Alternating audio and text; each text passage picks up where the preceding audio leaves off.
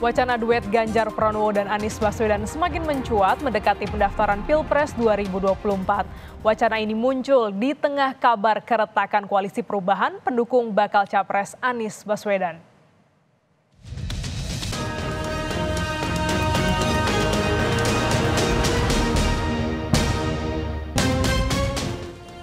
Pendaftaran capres untuk Pilpres 2024 kurang dari dua bulan lagi. Namun partai koalisi para pendukung capres belum sepenuhnya solid.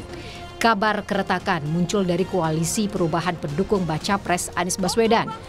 Kepala Bapilu Partai Demokrat Andi Arief di akun Twitter pribadinya mensinyalir ada partai pengkhianat dalam koalisi. Andi mencuit, kami akan terus bersama PKS meski satu partai lain mengkhianati koalisi, kata Andi Arief. Meski tak menyebut langsung siapa partai pengkhianat, namun Andi Arief seolah menunjuk Partai Nasdem. Sebab hanya Nasdem, partai yang tergabung di koalisi perubahan selain Partai Demokrat dan PKS. Di tengah polemik cuitan Andi Arief soal pengkhianat di koalisi, belakangan elit PDI Perjuangan melontarkan wacana untuk menduetkan Ganjar Pranowo dan Anies Baswedan. Ketua DPP PDIP Said Abdullah menyebut Anies memiliki sejumlah faktor yang membuatnya layak untuk dipasangkan dengan Ganjar. Namun putusan akhir tetap ada di tangan Ketua Umum PDIP Megawati Soekarno Putri mimpi saja.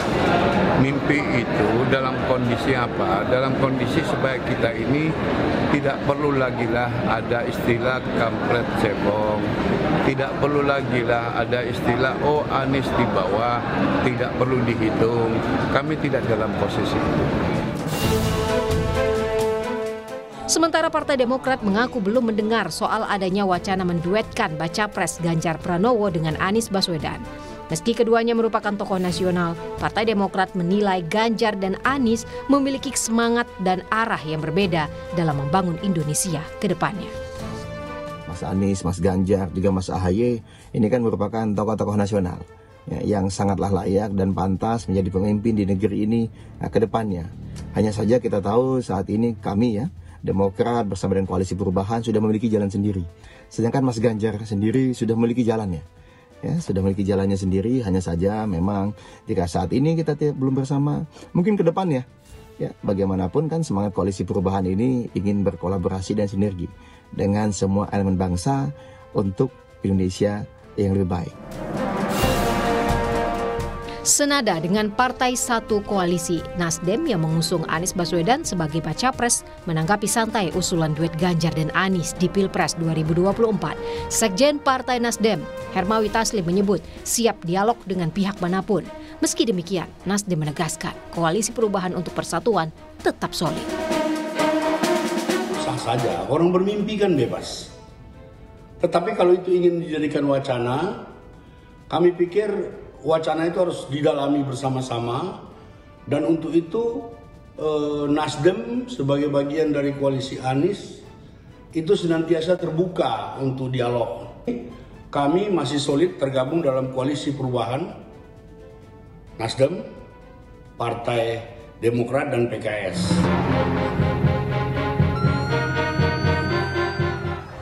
Masa depan pencapresan Anies Baswedan bergantung pada solidnya koalisi perubahan. Koalisi ini telah memenuhi ambang batas atau presidensial threshold untuk mengusung calon presiden 2024. PKS dengan 8,21 persen suara hasil pemilu lalu, Partai Nasdem 9,05 persen, dan Partai Demokrat 7,7 persen, sehingga total 25,03 persen. Jika satu partai keluar dari koalisi, maka pencalonan Anies Baswedan akan terhambat. Tim Liputan Kompas TV.